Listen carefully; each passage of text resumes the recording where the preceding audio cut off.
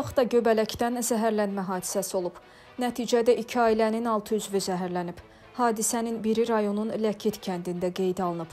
Burada Məlik Şxamirov, baş şərfi P və baş şərfi İ, həmçinin yetkinlik yaşına çatmayan qız zəhərlənib.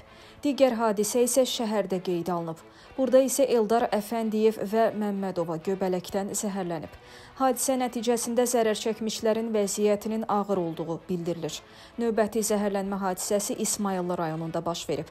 Mühafizə polisinin əməkdaşı Elvin Abbaslı İsmayıllı Tarix Diyarşünaslıq Muzeyində xidmətdə olarkən yaxınları tərəfindən ağır vəziyyətdə aşkar edilib. Onun sirkə turşusundan zəhərləndiyi ehtimal olunur.